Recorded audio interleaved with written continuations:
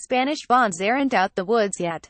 The country's securities will be vulnerable to political developments, even though Catalan separatists pulled back from an immediate declaration of independence, said Morgan Stanley Co. International plc and TD Securities Inc. The debt will also be particularly exposed to any tapering announcement from the European Central Bank this month, Deutsche Bank AG said.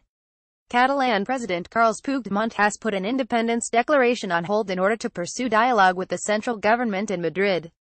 The move was met with a strong rebuttal from Prime Minister Mariano Rajoy's administration, which took the first steps to suspend the region's parliament, meaning the situation could still deteriorate.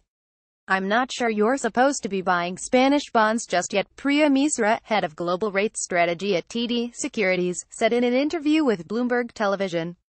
If the regional parliament is suspended, you get a lot more political risk getting priced in so potentially Spain can still widen out. Puigdemont said that an independence declaration would be put off for weeks. Such a period could encapsulate the ECB's next meeting on October 26, when details of its plan to wind down its bond buying program may be unveiled. While the central bank has bought Spanish debt largely in line with its rules, a high level of foreign ownership means the bonds could be one of the main losers under tapering, according to Deutsche Bank.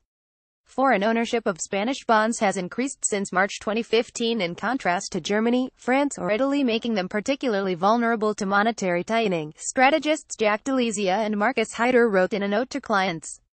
Spanish 10-year yields dropped 4 basis points to 1.65% on Wednesday, having retreated from a six-month high of 1.81% last week.